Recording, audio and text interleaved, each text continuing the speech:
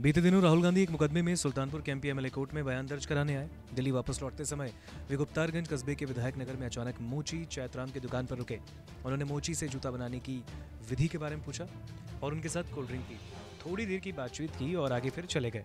शनिवार को उन्होंने दिल्ली से अपनी टीम भेजकर मोची को जूता बनाने की मशीन भेज दी। जी हाँ अब राहुल गांधी ने एक बार फिर से मोहब्बत की दुकान की एक उदाहरण को पेश किया। राहुल गांधी जिस मोची से मिलकर दिल्ली रवाना हुए थे उस मोची ने कहा था कि उसकी आर्थिक स्थिति सही नहीं है। इसके बाद अब राहुल गांधी ने उसे जूते बनाने वाली मशीन भेज दी। बदले में मोची चैतराम ने भी राहुल गांधी को रिटर्न गिफ्ट दिया है। मोची ने रिटर्न गिफ्ट में चमड़े के दो जूते भिजवाए। शनिवार को मोची चैतराम के पास दिन में करीब ग्यारह बजे फ़ोन आया कि आपको राहुल ने जूता बनाने की मशीन भिजवाई है। दोपहर बाद करीब तीन बजे पुलिस की जीप में कुछ पुलिसकर्मियों के साथ राहुल की टीम चैतराम की दुकान पर पहुँची और उन्हें मशीन उपलब्ध करवाई। मशीन पाकर रामचैत गदगद हो उठे। उन्होंने राहुल का आभार जताया। और भेंट के रूप में रामचैत ने राहुल गांधी के लिए दो जोड़ी जूते भिजवाए। चैतराम ने बताया कि उन्होंने जो जूते भेजे हैं, वे काले रंग के, चमड़े के, नौ और दस नंबर के हैं।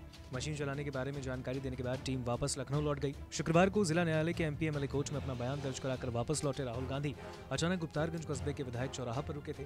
गाड़ी से उतरकर चैतराम मूची की गुमटी में पहुँचे, जहाँ उन्होंने जूता कैसे बनाया और सिला जाता है और इससे कितना फ़ायदा होता है, इसके बारे में रामचैत से बातचीत की।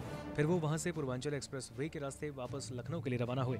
दुकान पर राहुल गांधी के रुकने के बाद से रामचैत चर्चा में आ गए लोग उनके पास पहुंचकर राहुल गांधी से हुई गुफ्तगू के बारे में जानकारी करते रहे। राहुल गांधी के जाने के बाद मोची ने बताया कि अचानक मेरे पास राहुल गांधी के आने से बहुत खुशी मिली है।